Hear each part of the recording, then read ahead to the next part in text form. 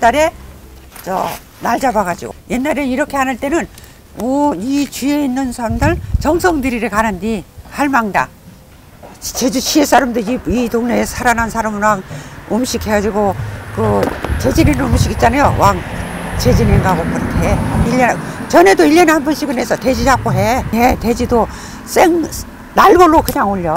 요즘은 그것도 간소해야 되는지 모르지만 돼지 검정 돼지 갖다가 여기서 잡아가지고 하는 거 무사 안녕. 그래 재질하는 것도 정성해가지고 우리 식구 편안해 집사 얘기는 정성 들이러 가는 거지 이게. 이 공간에는 그런 분을 못 봐. 우리 이제 한 30년 이상 살지만은 재질이러 오는 사람은 없어.